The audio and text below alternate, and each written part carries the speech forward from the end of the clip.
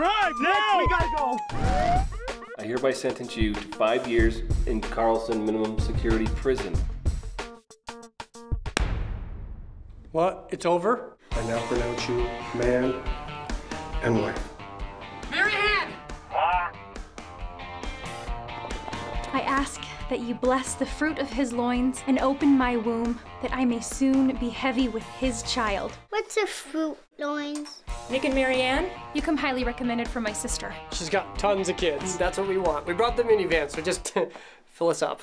It says uh, your uterus is a hostile environment. Well, we're not gonna give up. We're gonna have a baby, even if we just gotta do it ourselves. With help from Jesus.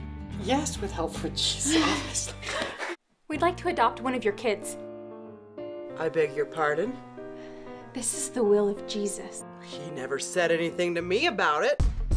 Roach, I need you to help me acquire a little human.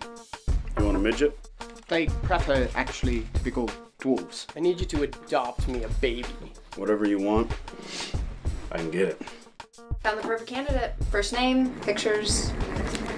That's her.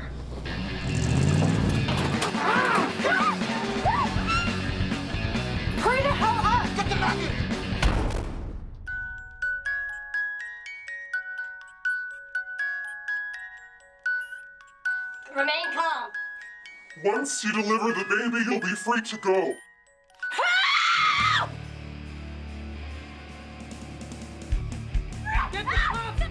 You idiot!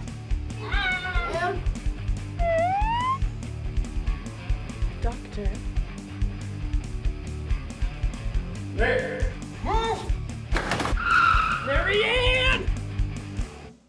Oh my gosh, I cannot believe I let you talk me into this. I did not talk you into this. You did! You did! It was the, the medical stuff and the Jesus and the.